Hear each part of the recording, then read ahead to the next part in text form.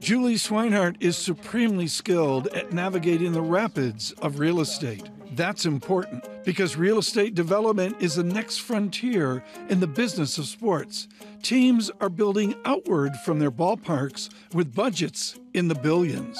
Fenway Sports Group has a blockbuster project in the works. We are envisioning 2 million square feet. We have, we have five acres to play with here.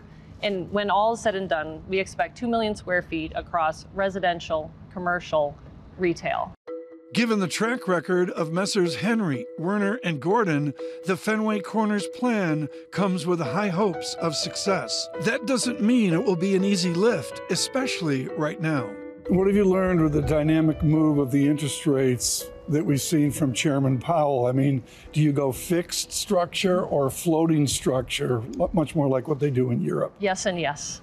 We, uh, we have a mix currently. Uh, it's a little bit of a different model than, mm-hmm. than what I was used to in the public public company space. Say in in some ways it, we provide ourselves with a natural hedge, leaving some uh, of our debt floating and some fixed. Julie Swinehart took me on a walking tour into the future.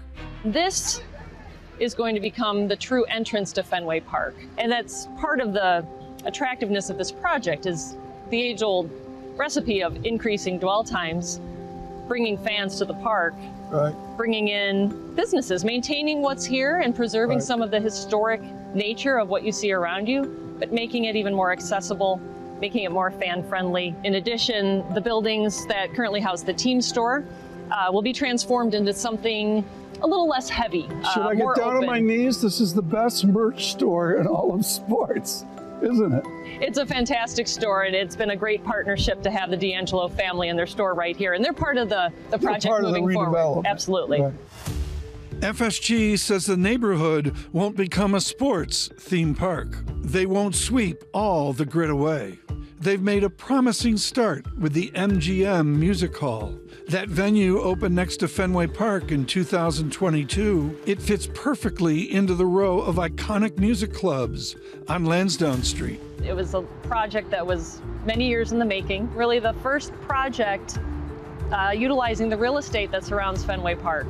What was the best practice you got out of it? I mean, it's a it's an experiment that I would assume there are 40 other ideas out there. What's the key idea from the MGM Hall. We're looking to do something similar in Pittsburgh.